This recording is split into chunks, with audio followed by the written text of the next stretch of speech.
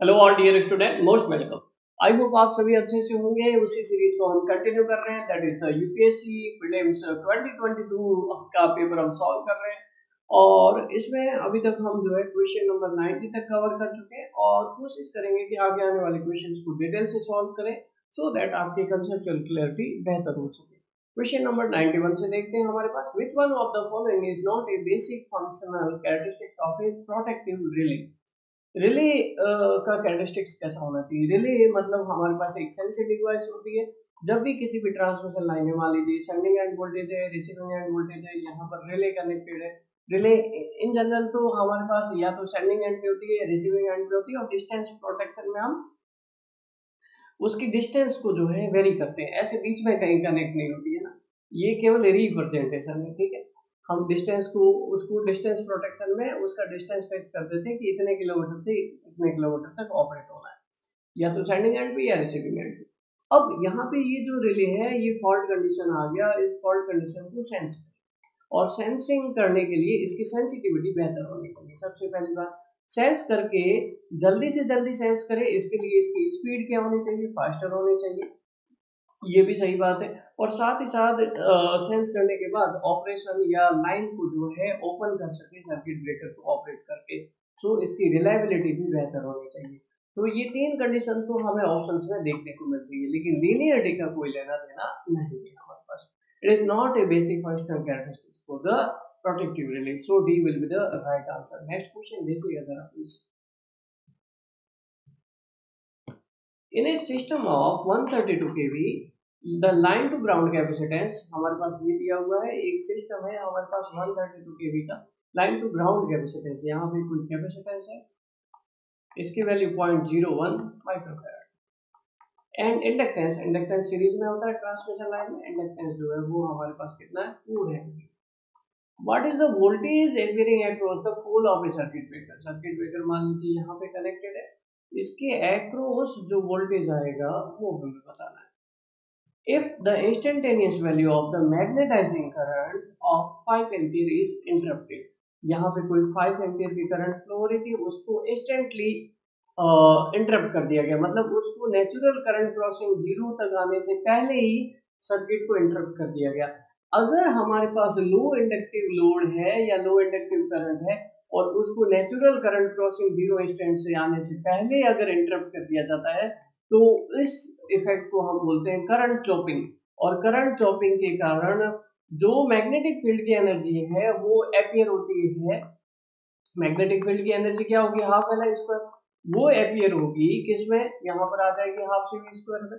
इसके कारण high restriking voltage appear होगा across the circuit breaker contact circuit breaker के कॉन्टेक्ट के across high V striking voltage appear होगा. तो आर्क जो आ, हमारे पास एक्सटेंगिस होने वाली थी, वो वापस री स्ट्राइक कर जाएगी और अगर आपका डायलेक्ट्रिक स्ट्रेंथ बेहतर नहीं हुआ सर्किट ब्रेकर का है ना? तो rate of rise of dielectric strength must be greater than rate of rise of restriking voltage जिससे कि आर्क एक्सटेंगिस हो सके।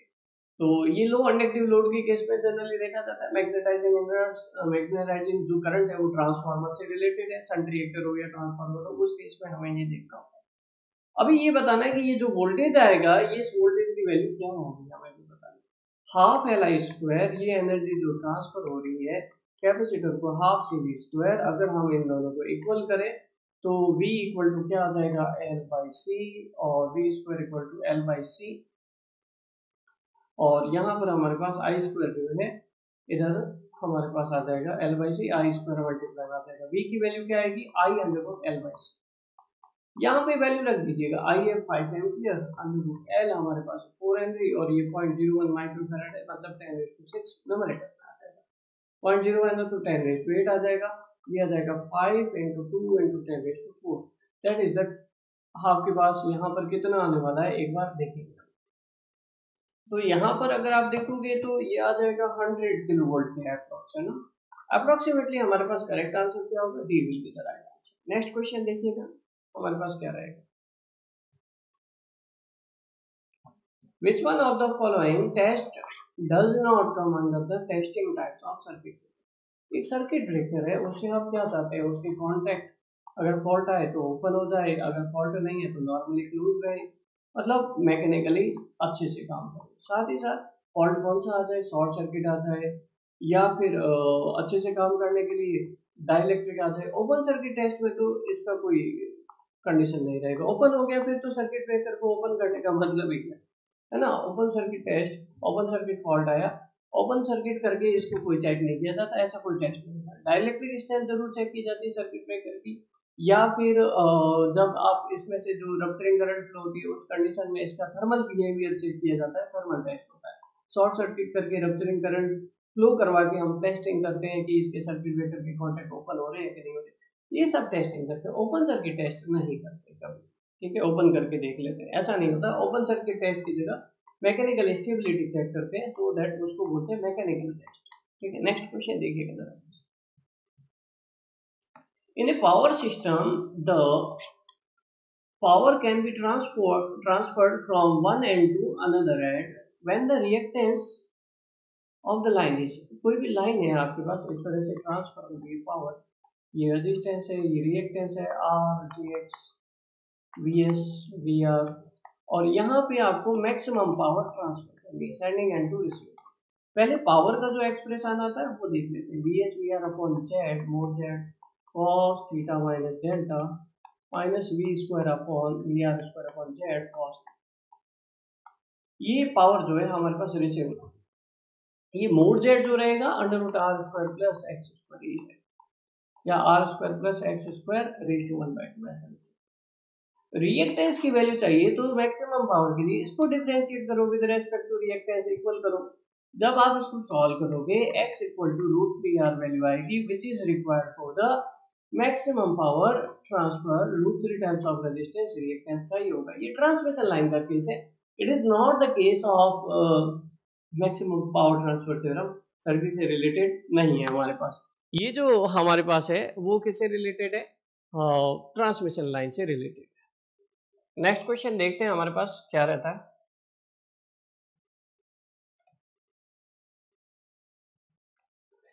if 50 hertz if 50 hertz four pole turbo generator rated at 30 MVA 13.2 kV आपके पास वोल्टेज है has an inertia of H nine kilo watt kilo joule पर kV आप ऐसा लिख सकते हैं। What is the kinetic energy stored in the rotor at synchronous speed condition क्या बोला गया है? हमारे पास गिवन डेटा क्या है? गिवन डेटा है फ्रिक्वेंसी 50 हर्ट्ज है और फोर पोल आपके पास टर्बो जनरेटर है। केवी रेटिंग जिसका हमारे पास वैल्यू है 30 एम और वोल्टेज है 13.2 के यहाँ पे इनर्शिया कांस्टेंट हमारे पास जो है 9 किलो जूल पर केवी है हमारे पास, ऐसा, ठीक है? अब हमारे पास आप ऐसा लिख सकते हैं कि हमारे पास जो है, इसको आप ऐसा भी लिख सकते हैं, नाइन मेगा जूल पर एम उससे कोई फ़र्क पड़ेगा? क्योंकि इधर किलो जूल पर के कर दो या मेगा जूल पर एम बी ए कर दो, उससे कोई फ़र्क नहीं पड़ेगा। हमें काइनेटिक एनर्जी चाहिए। काइनेटिक एनर्जी का यूनिट क्या है मेगाजोल कैसे पता चलेगा? मेगाजोल पर एमवीए को एम से मल्टीप्लाई करोगे काइनेटिक एनर्जी क्या रहेगा? मेगाजोल पर एमवीए को अगर आप जो है मल्टीप्लाई करोगे किससे? एम से। सो आपके पास काइनेटिक एनर्जी स्टोर पता चल जाएगी। मेगाजोल पर M that is the H और ये आपके पास M rating thirty into nine that is the हमारे पास आ जाएगा two seventy megajoule. So what will be the right answer C will be the right answer next question देखते हैं। Next question के साथ साथ हमें हम्म, ये भी स्विंग इक्वेशन के बारे में मालूम होना चाहिए। और कुछ बेसिक्स इसके बारे में क्वेश्चन बनते हैं। नेक्स्ट क्वेश्चन देखिएगा जरा please which one of the is not an example of renewable energy? Renewable energy that which is not uh, depleted easily या फिर आप जो है जब तक जहान है दुनिया है यूनिवर्स है तब तक रिन्यूएबल एनर्जी रहेगी। सोलर एनर्जी हो गई विंड एनर्जी हो गई या फिर जियो थर्मल एनर्जी हो गई बायोमास एनर्जी हो गई। These all are hydro energy भी आप इंक्लूड कर सकते हैं, है ना?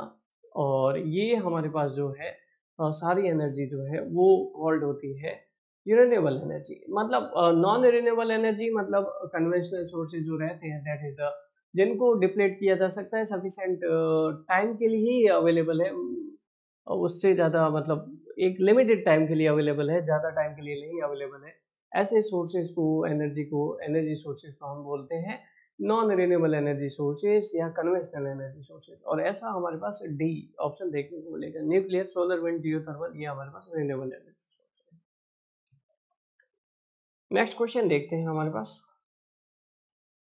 नेक्स्ट क्वेश्चन हमारे पास जो रहेगा that is the there are additional losses that arise from the non uniform current distribution in the conductors and the core losses are generated in the iron, due to the distortion of magnetic flux distortion, is from the load current, such losses are known as, बहुत बड़ा question दिया हुआ है। Steel losses friction losses steel load losses windage losses अब देखते हैं, यहाँ पर हमारे पास इस क्वेश्चन का आंसर क्या होगा। हालाँकि क्वेश्चन तो हमें देखते ही समझ में आ रहा है friction and windage losses mechanical losses होता है फ्लक्स के कारण नहीं होता। स्टील लॉसेस टाइप का कोई लॉस नहीं होता है। आंसर तो हमारे पास स्टील लोड लॉसेस लेकिन इस क्वेश्चन का फ़िज़िकल सिग्निफिकेंस क्या है, वो हम समझने की कोशिश करते हैं। एक्चुअली जब भी हमारे पास, जैसे डीसी मशीन कंसिडर कर लीजिए डीसी मशीन में normally at no load condition पे वैसे दो वाइंडिंग होती है, एक फ़ील्ड वाइंडिंग होती है, एक हमारे पास आर्मेचर वाइंडिंग होती है। फ़ील्ड वाइंडिंग में फ़ील्ड फ्लक्स प्रोड्यूस होता है फ़ील्ड फ्लक्स का जो डिस्ट्रीब्यूशन रहता है, वो ट्रेपोजोडल रहता है, इस तरह से। और एक आर्मेचर फ्लक्स प्रोड्यूस होता है, जिसका डिस्ट्रीब्यूशन जो है ट्रायंगुलर रहता है। इस तरह से हम शो कर देते हैं। ये ट्रायंगुलर डिस्ट्रीब्यूशन रहता है। ये आपके पास देखने को मिलेगा, है ना? इस तरह से। थोड़ा सा अप्रोक्सीमेट बना रहे ये ये देखने को मिलेगा। मतलब डायरेक्ट एक्सेस पे इसकी वैल्यू ज़ीरो रहेगी क्यू एक्सेस पे इसकी वैल्यू मैक्सिमम रहेगी। ठीक है? ये देखने को मिलता है, ये क्यू एक्सेस है, ये डी एक्सेस है, ऐसा रहता है। ये फाइव आ गया, ये हमारे पास फाइव एफ़ है। तो रिजल्टेंट जो फ्लक्स आता है, वो रिजल्टेंट फ्लक्स हमारे पास कुछ इस तरह से रहता है। यहाँ पे, ये इस तरह से, यहाँ पे इस तरह से। ये फिर वापस यहाँ पे राइज हो जाता है। यहाँ पे ये इस तरह से और फिर जो है इस तरह से तो यहाँ पे जो हमारे पास पहले field flux no no load condition में ये था और रिजल्टेंट कंडीशन में हमारे पास ये आ गया। तो फ्लक्स डेंसिटी जो है हमारे पास पहले मान लीजिए बी थी, अभी हमारे पास फ्लक्स डेंसिटी आ गई बी डैश जब आप नो लोड से लोड कंडीशन में जाओगे आर्मेचर फ्लक्स भी साथ में आता है और रिजल्टेंट फ्लक्स में फ्लक्स डेंसिटी बढ़ जाती है। नो लोड से लोड में जाने का मतलब ये है लेवल ऑफ़ करंट बढ़ना। लेवल ऑफ़ करंट बढ़ना तो उसके कारण आर्मेचर फ्लक्स बढ़ा और आर्मेचर फ्लक्स का जो इफ़ेक्ट आया वो रिजल्टेंट फ्लक्स में फ्लक्स डेंसिटी बढ़ गई। अब हमारे पास जो आयरन लॉसेस होते हैं hysteresis losses plus eddy current losses ये अप्रोक्सीमेटली हम जो है ऐसा लिख सकते हैं कि iron losses approximately B M square directly proportional जो हमारे पास नो लोड से फुल लोड की तरफ़ हम जा रहे हैं तो फ्लक्स डेंसिटी में जो चेंज आ रहा है उसकी वजह से आयरन लॉसेस में जो इंक्रीमेंट होता है that is known as stray load losses हम जनरली क्या बोलते हैं? हम ये बोलते हैं ना कि iron are constant with respect to level of load when it is changed from no load to full load condition these are the constant. लेकिन ये जो फ्लक्स डेंसिटी में जो वेरिएशन आएगा, इसको कौन कंसिडर करेगा? ये वेरिएशन के कारण जो है, हमारे पास आयरन लॉसेस में जो इंक्रीमेंट हो रहा है that is known as steel losses और ये मतलब मैग्नेटिक फ्लक्स डिस्ट्रीब्यूशन की वजह से जो डिस्टोर्शन आ रहा है, उसकी वजह से हो गया। साथ ही साथ जो है, यहाँ पर जो हमारे पास फ्लक्स डिस्ट्रीब्यूशन की वजह से जो एक्स्ट्रा करंट फ्लो हो रही है एक्स्ट्रा करंट फ्लो होने की वजह से जो रजिस्टेंस में extra I square R losses आ रहे हैं, that means extra copper losses are here that is also due to the non-uniform distribution of non uniform distribution of current की वजह से जो लॉसेस आते हैं these are called the stray load losses तो stray load losses cause increment in the iron losses also in the copper losses जो इन दोनों के कारण जो है हमारे पास कंबाइंड जो होंगे these are the stray load losses next question देखेंगे जरा please if the magnetic core has a constant permeability एक मैग्नेटिक कोर है जिसकी कॉन्स्टेंट परमेबिलिटी है by making air as a medium मतलब परमेबिलिटी हमारे पास एयर की कितनी रहती है? One mu R equal to one रहता है तो हमारे पास परमेबिलिटी की वैल्यू क्या आएगी? म्यू आर वन है तो म्यू नॉट के इक्वल ही रहेगा that is four five into ten is to minus seven हमारे पास ये फिक्स वैल्यू रहेगी कॉन्स्टेंट वैल्यू रहेगी। ऐसा ही बोला गया। For a coil current and the resultant flux link is then ऐसा बोला गया। कॉन्स्टेंट परमेबिलिटी एक कॉइल है, जिसमें से करंट पास हो रही है फ्लक्स लिंकेज हो रहा है, सब कुछ बढ़िया। ठीक है? तो उस केस में एनर्जी और को एनर्जी जो होंगे इक्वल होंगे। एनर्जी जो है ग्रेटर देन को एनर्जी होगी। Energy is less than co energy रहेगी या को एनर्जी डेवलप ही नहीं होगी। पहले तो ये समझते हैं कि एनर्जी का क्या मतलब है और को एनर्जी का क्या मतलब है। एनर्जी का सिंपल सा मतलब ये हो गया कि जो आप अप्लाई एनर्जी इनपुट कर रहे हैं और हमारे पास चार्जेस जो भी मीडियम है, उसमें जो चार्ज है, जो इलेक्ट्रिक फ़ील्ड क्रिएट होता है, उसकी वजह से जो एनर्जी है that is the half C V square उसको हम जनरली ऐसा लिखते हैं। लेकिन मशीन में क्या होता है, जब हमारे पास मैग्नेटिक वाइंडिंग तो चाहिए होती है, और वाइंडिंग में कौन एसोसिएटेड होता है? मैग्नेटिक फ़ील्ड एसोसिएट होता है। तो ऐसी एनर्जी जो मैग्नेटिक फ़ील्ड के साथ एसोसिएटेड होती है that is the co energy ठीक है? उसको हम जो है हाफ़ एल आई स्क्वायर से शो करते हैं। ऐसा ही शो करते हैं। ये हमारे पास अवेलेबल जो इलेक्ट्रोस्टेटिक फ़ील्ड में या चार्जेस वगैरह की वजह से जो एनर्जी है that is the simple energy half C V square और मैग्नेटिक फ़ील्ड के साथ जो एनर्जी स्टोर अवेलेबल होगी that is the half L square अब जब भी हमारे पास एयर एज ए मीडियम होता है तो उस केस में एनर्जी और को एनर्जी दोनों जो है इक्वल रहते हैं और दोनों के बीच में जो कर्व आता है, वो लीनियर आता है. कैसा आता है? कर्व लीनियर आता है. इसको हम शो करते हैं, ऐसा कर्व आता है. देखिए जरा ये हमारे पास देखने को मिलेगा। यहाँ पर आपके पास लीनियर कर्व आता है। Energy and no to energy दोनों का जो है वैल्यू या इक्वल रहेगा हमारे पास। लेकिन जब भी मैग्नेटिक फ़ील्ड जिसमें परमिबिलिटी अवेलेबल हो उस केस में ये दोनों इक्वल नहीं रहते। ना ठीक है? एयर एज ए मीडियम के लिए इक्वल रहते। The structure of a DC commutator machine is generally designed with non-salient pole stator, non-salient stator or salient rotor, uh, salient stator, non-salient rotor, salient stator, salient rotor, non-salient or non-salient rotor, stator and rotor. DC machine का construction कैसा होता है?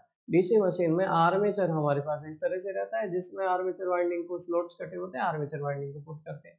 और जो बाहर stator होता है उसमें हम जो है पोल प्रोजेक्टेड करते हैं इस तरह से हमारे पास पोल प्रोजेक्ट जैसे ये फोर पोल मशीन है।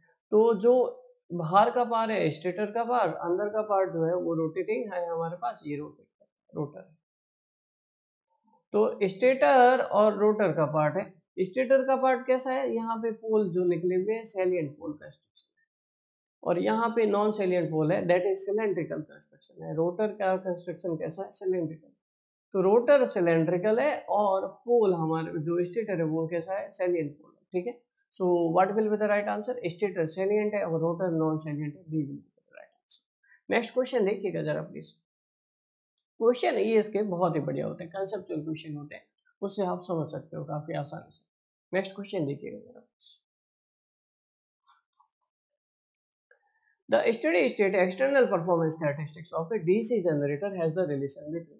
एक DC जनरेटर है जिसमें सबसे पहले तो जनरेटेड ईएमएफ होता है मान लीजिए यहाँ पर सेपरेटली एक्साइटेड डीसी जनरेटर है, जिसमें फ़ील्ड करंट अप्लाई कर रहे हो आप फ़ील्ड वोल्टेज है आपके पास, और यहाँ पर जो है आर्मेचर वाइंडिंग है, यहाँ पर आपके पास जो ईएमएफ इंड्यूस हो रहा है दैट इज़ जनरेटेड ईएमएफ और यहाँ पर आपके पास जो है सीरीज़ फ़ील्ड वाइंडिंग भी कंसीडर कर दो सेपरेटली एक्साइटेड जनरेटर है तो इसको छोड़ सकते ये हमारे पास आर्मेचर वाइंडिंग है अंदर, और ये वी टर्मिनल वोल्टेज है। यहाँ पे लोड करंट जाएगी।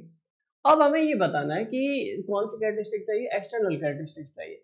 एक्सटर्नल कैसे सबसे पहले इंटरनल कैरेक्टरिस्टिक्स को देखते हैं। इंटरनल कैरेक्टरिस्टिक्स का मतलब जब लोड नहीं लोड नहीं है तो फ़ील्ड करंट फ्लो होती है लोड करंट ज़ीरो होगी। कैरेक्टरिस्टिक्स तो हम वोल्टेज और करंट के बीच में फ्लोट करेंगे, ये ध्यान रखना। तो नो लोड कंडीशन में जो इंड्यूस ईएमएफ होता है दैट इज़ द इनोड यहाँ पर इंड्यूस होगा।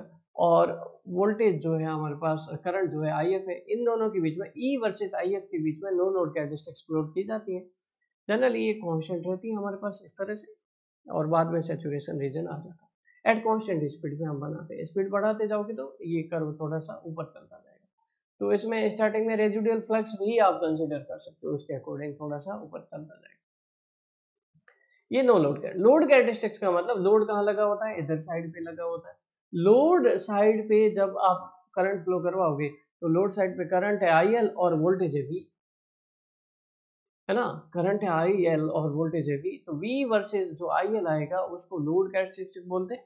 ये जो लोड कैरेक्टरिस्टिक्स होती है एक्सटर्नल लोड कैरेक्टरिस्टिक्स होती है। है ना? इंटरनल लोड कैरेक्टरिस्टिक्स कैसी होती है? इंटरनल लोड कैरेक्टरिस्टिक्स का मतलब जो जनरेटेड ईएमएफ है, उसमें से केवल आर्मेचर रिएक्शन के इफ़ेक्ट के कारण जो ड्रॉप हो रहा है, उसको घटा दिया जाए तो फिर जो जनरेटेड ईएमएफ बचेगा और लोड करंट बचेगी, उसके बीच में जो फ्लोट होगा that is the internal load characteristics terminal पे जो मिल रहा है that is the terminal voltage और लोड करंट के बीच में जो फ्लोट है that is the external load characteristics ये हमारे पास टर्मिनल वोल्टेज और फ़ील्ड करंट के बीच में होता है तो ऐसा ऑप्शन कौन सा है? सॉरी टर्मिनल वोल्टेज और लोड करंट के बीच में होता है और ऐसा ऑप्शन जो है कॉन्स्टेंट स्पीड पे डी देखने को मिलेगा। फ़ील्ड करंट में नहीं होता है।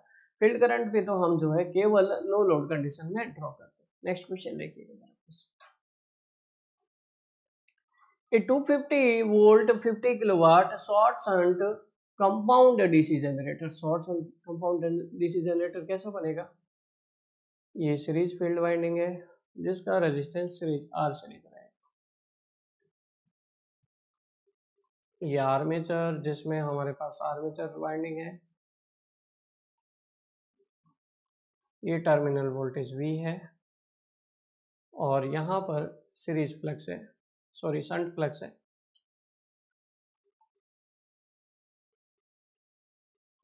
ठीक है, यहाँ पर जो करंट जा रही है that is the I S H और यहाँ पर जो जा रही है आर्मेचर करंट, जनरेटर है तो हम ऐसा बनाएँगे, ये आई एल डायग्राम बना दिया, अब क्या डेटा दिए बने वो देखते हैं। 250 वोल्ट ये 250 वोल्ट है। और जो रेटिंग है रेटिंग हमेशा ध्यान रखिए आउटपुट के रेस्पेक्ट में होती है तो यहाँ पर आउटपुट पावर जो आपको मिलेगी, वो आपके पास 50 किलोवाट है।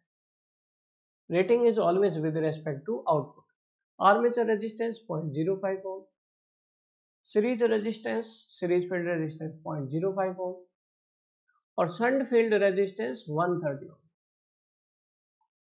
what is the value of total current supplied by the generator ये टोटल करंट जो जनरेटर सप्लाई कर रहा है मतलब आर्मेचर करंट और ब्रश कांटेक्ट ड्रॉप जो है दो वोल्ट है।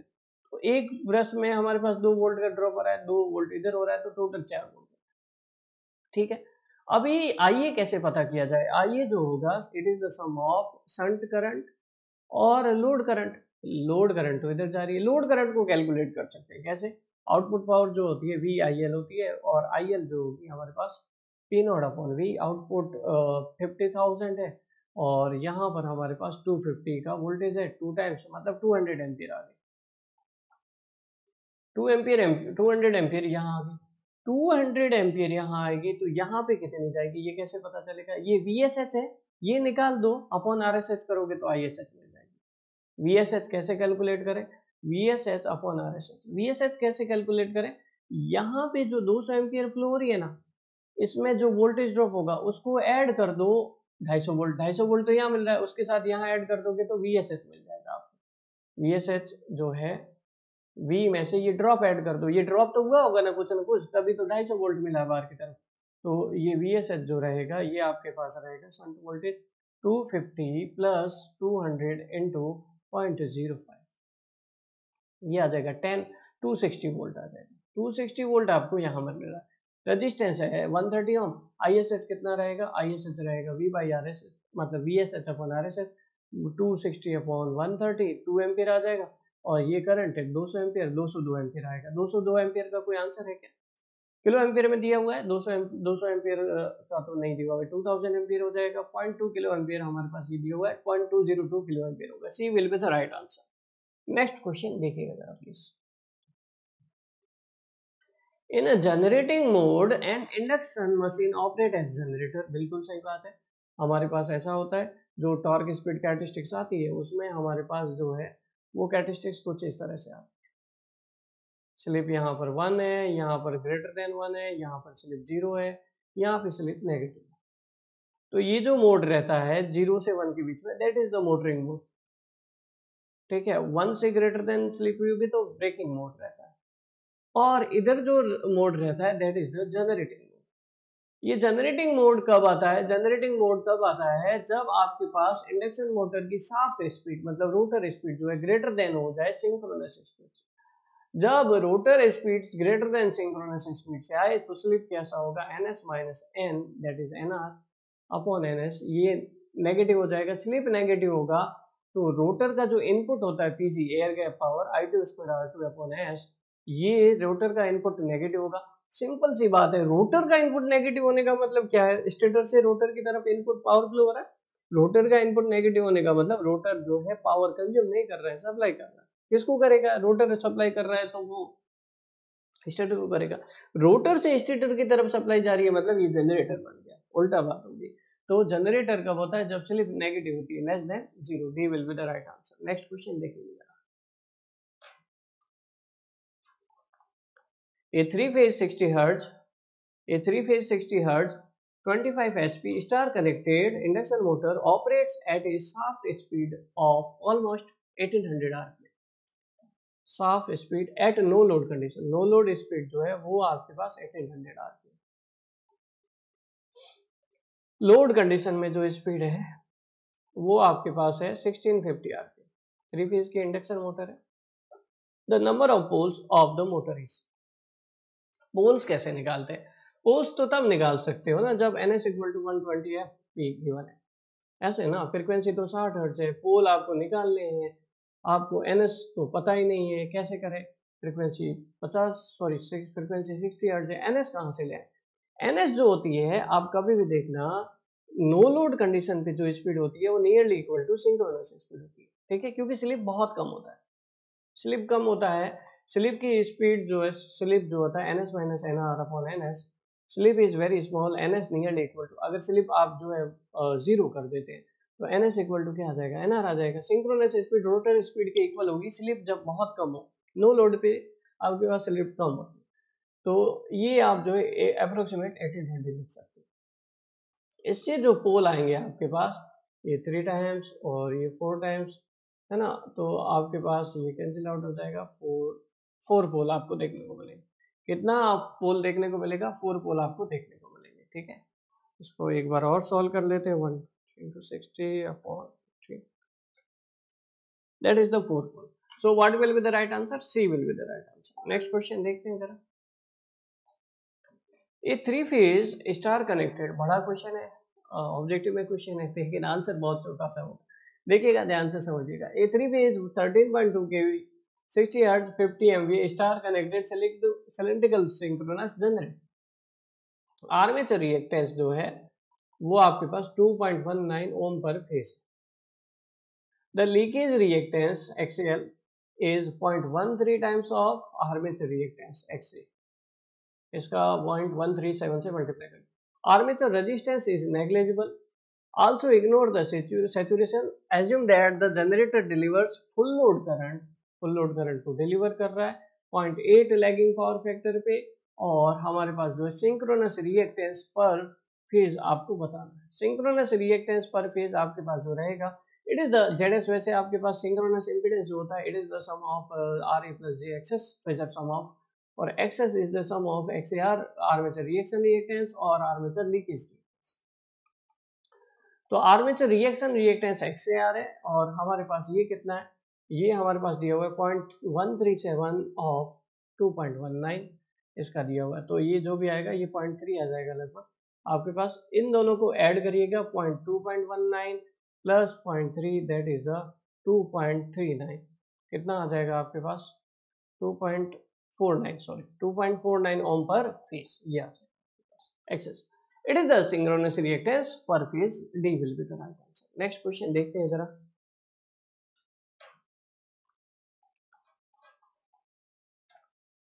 For the commutated DC machine stator, if riveted poles and ends of the pole are called. Riveted poles है और एंड ऑफ़ द पोल्स आपको क्या बोलेंगे उसको? ये हमें बताना है। तो इसका डायग्राम देखते हैं हमारे पास। इसका क्या मतलब है? डायग्राम देख के आपको ज़्यादा क्लियरिटी रहेगा। ये जो रिवेटेड पोल्स है या पोल इस तरह से रहते हैं हमारे पास। इस तरह से हमारे पास डायग्राम रहता है। ये हमारे पास जो है पोल का स्ट्रक्चर रहता है। ये स्टार्टिंग है हमारे पास। ठीक है, यहाँ से पोल को स्टार्ट करते फिर यहाँ पे पोल का सपोर्ट हमें मिलता है और यहाँ पर हम जो है फाइंडिंग लगाते हैं। और बाहर की तरफ़ फ्लक्स को इजीली डिस्ट्रीब्यूट करने के लिए यहाँ पर जो ये बाहर का एरिया ये जितना भी, इसको बोलते हैं पोल सो इसको क्या बोलते हैं? पोल सो तो बाहर साइड जो आपको फ्रंट साइड जो है या एंड साइड जो आपको पोल का एरिया मिलेगा, उसको हम क्या बोलेंगे? यही क्वेश्चन हमसे पूछा है। Pole shoe pole face pole arc pole gap pole arc भी तो हमारे पास एक एंगुलर डिस्टेंस होती है। पोल आर्क तो क्या है? हमारे पास एंगुलर डिस्टेंस है। इट इज़ नॉट हमारे पास जो है एनी पार्टिकल तो हमारे पास जो है, यहाँ पर जो है, पोल फेस या पोल सू इन दोनों में से क्या होना चाहिए? तो हमारे पास जो है, इस आउटर साइड कंपोनेंट को हम क्या बोलते हैं? पोल सू बोलते हैं। A will be the right answer next question देखिएगा। In lap winding there are In lap winding, there are many paths in parallel through the armature winding as there are number of poles. In such a lap winding, the current in the in armature coil is. Let us consider there are 16 coils and 4 parallel paths.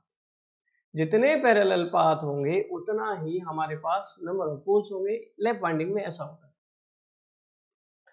तो 16 कोयल को अगर आप distribute करोगे तो आप किस तरह से करोगे? चार पैरेलल पाथ में? इस तरह से डिस्ट्रीब्यूट करोगे? जितने पैरेलल पाथ होते हैं, उतने ही हमारे पास यहाँ पर ब्रशेस देखने को मिलते हैं। या जितने पोल्स होते हैं, उतने ही हमारे पास यहाँ पर पैरेलल पाथ देखने को मिलते हैं ब्रशेस देखने को मिलते हैं। अगर मान लीजिए, यहाँ पर जो आर्मेचर करंट आई, वो हर एक पैरेलल पाथ में जाएगी, चार पैरेलल पाथ, जैसा क्वेश्चन में बोला गया। है ना? चार पैरेलल पाथ है अगर मान लीजिए तो आई ए बाई फोर हो जाएगा है ना? और N number of parallel path है तो आई ए आई ए बाई एन हो जाएगा। सो so, क्या हमारे पास पूछा है? The current in each armature coil तो हर एक आर्मेचर कोयल में I A by N current जाएगी। One and one and half of armature terminal current बिल्कुल गलत। Half of armature terminal current बिल्कुल गलत। Equal to the armature terminal current divided by the number of poles equal to the armature current divided by the number of poles या फिर equal to the number of poles number of pole के current कैसे divide होगी? है ना? Number of pole के current कैसे equal होगी? Equal to the armature current divided by the number of poles या फिर number of parallel path C so what will be the right answer? C will be the right answer. A four pole a four pole dc machine armature has 54 slots ऐसे आपके पास DC machine है और उसमें आ, बहुत सारे slots armature मतलब rotor side पे बहुत सारे स्लोट्स हैं। हम प्रॉपरली नहीं बना पा रहे, इस तरह से आपके पास बहुत सारे स्लोट्स हैं। ऐसे करके 54 स्लोट्स हैं, ठीक है? If it is left winding single turn coil single turn coil मतलब आपके पास हर एक स्लोट में कॉइल का एक turn how many armature coil are required इसका मतलब चौवन स्लोट है, हर एक स्लोट में एक टर्न आ रहा है। वन टर्न ऑफ़ कॉइल आ रहा है। तो एक कॉइल कैसे बनती है? एक कॉइल में दो कॉइल साइड होती है, ठीक है? आपके पास दो कॉइल साइड होती है coil side first coil side second एक स्लोट में एक टर्न आ रहा है, दूसरे स्लोट में दूसरा टर्न ऐसे करके एक कॉइल बनती है मतलब दो स्लोट में एक कॉइल बनेगी। तो चौवन स्लोट में कितनी कॉइल बनेगी? दो स्लोट में एक कॉइल बनती है। चौवन स्लोट में इसका half twenty seven slot twenty seven आपके पास आर्मेचर कॉइल बनेगी। ठीक है? अगर डबल लेयर बाइंडिंग होती, ये सिंगल लेयर बाइंडिंग है तो आपके पास एक एक आपके पास लेयर जाएगी। डबल लेयर बाइंडिंग होती तो हर एक स्लोट में दो दो कोयल साइड रहती है। तो 54 आर्मेचर कोयल ही होती है। लेकिन अभी कितना है इस क्वेश्चन में? 27 नेक्स्ट क्वेश्चन देखते हैं हमारे पास। भारी, काफ़ी बड़ा क्वेश्चन है, लेकिन देखते हैं। A DC shunt motor is rated for 230 volt 1350 RPM 10 HP इसका आउटपुट पावर है, लोड करंट आपके पास 37.5 एम्पियर है संट करंट जो है डीसी संट मोटर है। तो डीसी संट मोटर में आपको क्या दिया हुआ है, ये डेटा गिवन है 230 वोल्ट है 1350 आरपीएम पे घूम रही है 10 एचपी की मोटर है 37.5 एम्पियर का, इसके पास लोड करंट है 0.75 एम्पियर आपके पास जो है ये आपको देखने को मिलेगा, shunt current. It is known that armature resistance is 0.35 ohm power dissipated across field winding 519 watt. The dc shunt motor is to be equipped with the manually operated variable resistor. यहाँ पे एक वेरिएबल रजिस्टर है, उससे इसको supply दिया जा रहा है। 230 वोल्ट से सप्लाई दे रहे हैं, इससे दे रहे स्टार्टर है। वेरिएबल रजिस्टर स्टार्टर मतलब यहाँ पे स्टार्टर कनेक्टेड है। What is the maximum allowable armature current starting current को लिमिट करने के लिए जो ये स्टार्टिंग करंट स्टार्टर लगाते हैं, ये मैक्सिमम स्टार्टिंग करंट कितनी होनी चाहिए?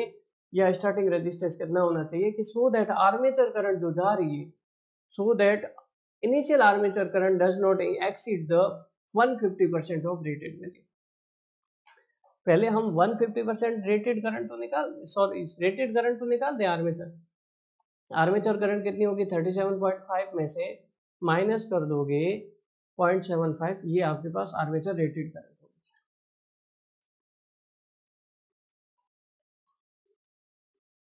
ये आ गया 36.75 एम्पियर। अब क्या बोला गया कि आपके ये जो आर्मेचर करंट है, इनिशियल आर्मेचर करंट या रेटेड आर्मेचर करंट की 150 परसेंट नहीं होनी चाहिए। स्टार्टिंग करंट 150 परसेंट से ज़्यादा नहीं होना चाहिए। तो 150 परसेंट ऑफ़ रेटेड करंट का अगर आप देखोगे तो हमारे पास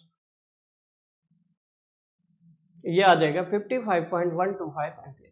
यही हमें पूछा था कि जो है आपके पास बताओ कि 150 परसेंट तक आर्मेचर करंट मैक्सिमम राइज हो सकती है, उसकी वैल्यू क्या हो सकती है? आर्मेचर करंट रेटेड निकाल दो, उसका 150 परसेंट कर लो। बहुत बड़ा क्वेश्चन है, लेकिन आंसर बहुत छोटा सा 55.125 ampere. And it is the end of today session ये मशीन के क्वेश्चन होते हैं और we will meet on tomorrow till then thank you so much if you want to solve more and more MCQ classes more तो आप जो है इस वीडियो के डिस्क्रिप्शन में ऐप लिंक है, वहाँ इस ऐप को डाउनलोड करो और वहाँ पे वेरियस कोर्सेज आपको मिलेंगे। एज डिजायर्ड क्रैश कोर्स लीजिए डिटेल कोर्स लीजिए इंडिविजुअल सब्जेक्ट वाइज कोर्स लीजिए टेस्ट सीरीज़ लीजिए एज यूजल जो है आपको वहाँ पर देखने को मिलेगा। और यहाँ पर हमारे पास इस सेशन को एंड करते हैं। उसको ज्वाइन करिए और ज़्यादा से ज़्यादा मेहनत करिए। Till then thank you so much फिर मिलते हैं।